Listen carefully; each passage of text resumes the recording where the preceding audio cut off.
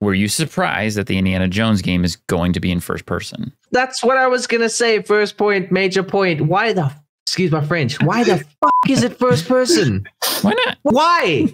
Not why not? Why? I, I never played those, but I don't. I don't mind it. I'm gonna give it a chance. I like that they at least went for a hybrid approach. It's mostly first person, but then the camera pans out to third person I- for specific parts of the game. I I hate that. I think it's so cheesy, and I hate like do first person or do third person. Don't like.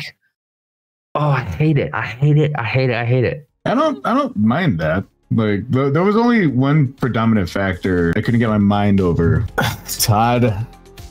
F***ing Howard. All right. Ah! Okay. Here's my thing.